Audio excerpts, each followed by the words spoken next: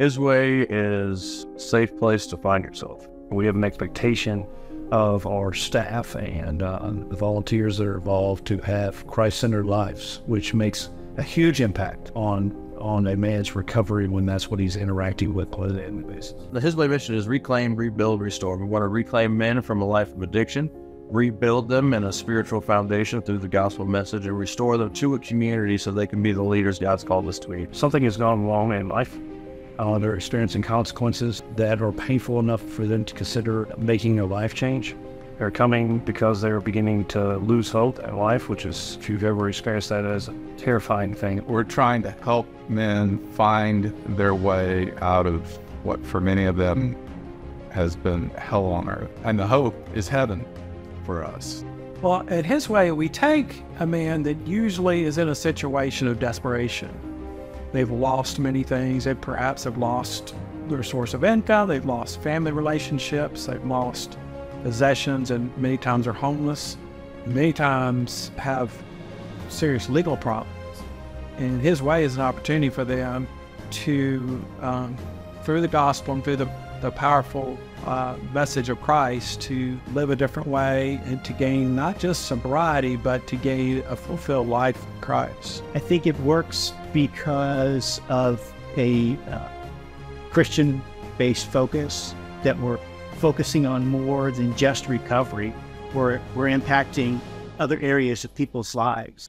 The first 30 days, we're just trying to teach them about Jesus and about life. We're trying to help them with life skills, whether it's how to write a resume, how to get a job, how to how to be a better father, husband, brother, child, you know, whatever. And we're and we're teaching them the gospel at the same time. And that's one of the keys to his way is we're we're addressing every aspect of your life, not just your spiritual melody. You know, that's the first place we start forth. Well, we need to get you a job. We need to look at your health. And in his way, we take such a holistic, such a comprehensive approach. We're not just about measuring time, keeping people sober. We're about teaching them a new way of living.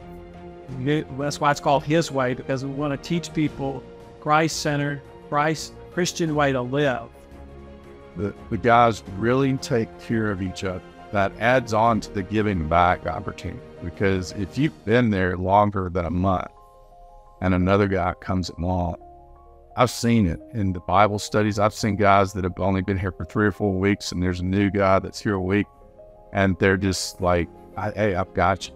I'm, you know, I'm here for you. If you need anything, talk to." Me. But in His way, we have really, I feel like a great culture. There's a teamwork. All the guys are pulling for each other to be successful.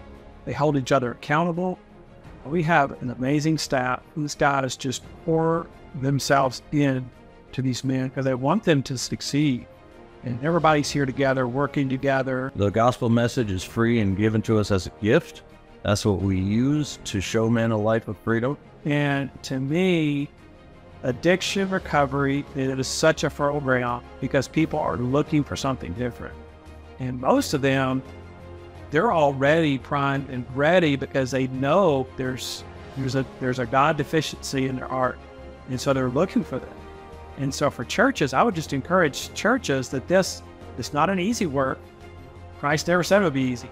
It's not an easy work. It's oftentimes there's there's a lot of things to put in place, but it's an area in our society where I think people are open for the gospel and where lives can be changed and where the church can really grow.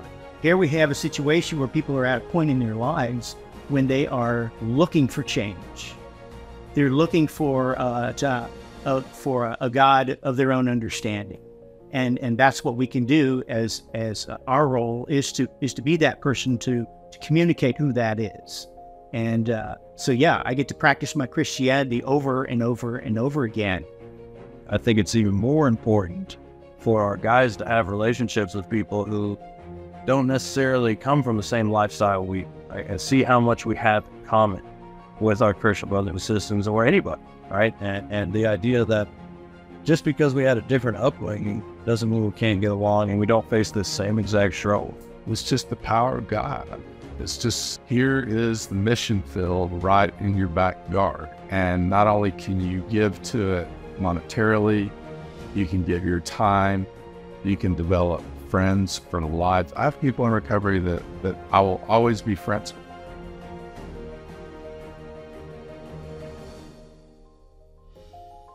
It's a mission, it's a ministry, uh, and it's actually it's actually working. If Jesus is looking for the lost, that he came to seek and save the lost, and if we're to be the arms and legs of Jesus for the body of Christ, trying to be Jesus on this earth, you don't have to seek far to find lost people. This is not the only example, but it's a real, really good. It's right there.